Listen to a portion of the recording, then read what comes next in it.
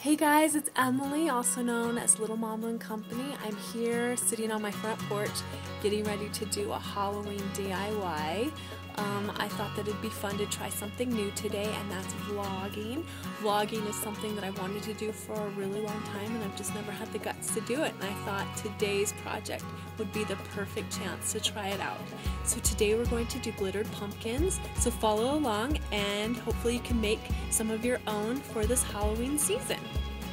Before you begin your project, you need to make sure that you have a couple pumpkins that you'd like to glitter. I actually went to the store the other day, so I got a bunch of pumpkins and I have lots to choose from. I've chosen this kind of oblong one with this fun curly stem and this kind of short squatty one. You're also going to need to make sure that you have the kind of glitter that you'd like.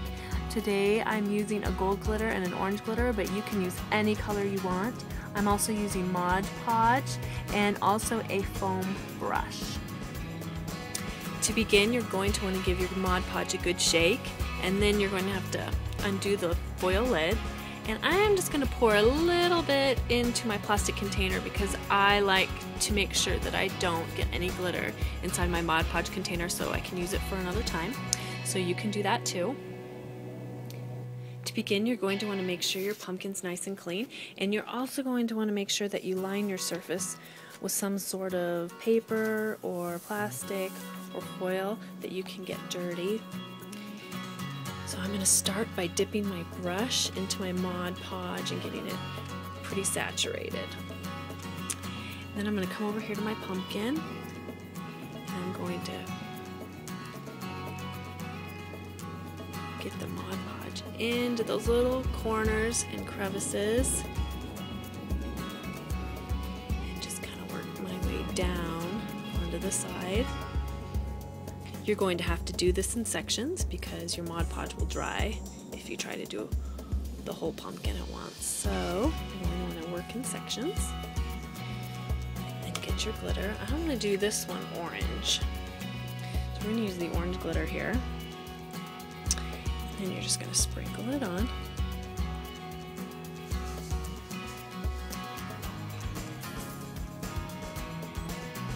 Let it dry for a second. Just gently kind of brush it off.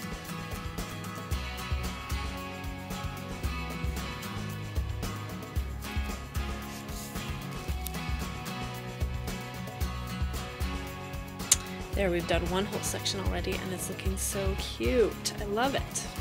It's actually nice to get a pumpkin with a stem because you can hang on to it and as you work the uh, glitter onto the Mod Podge, it makes a nice handle so you're not actually touching and disturbing the glitter.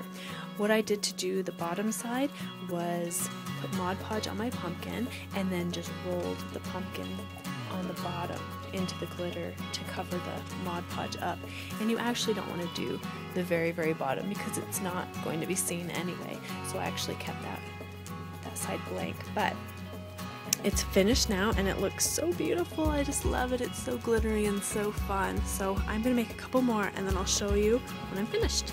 Well, as you can see, I finished my pumpkins up.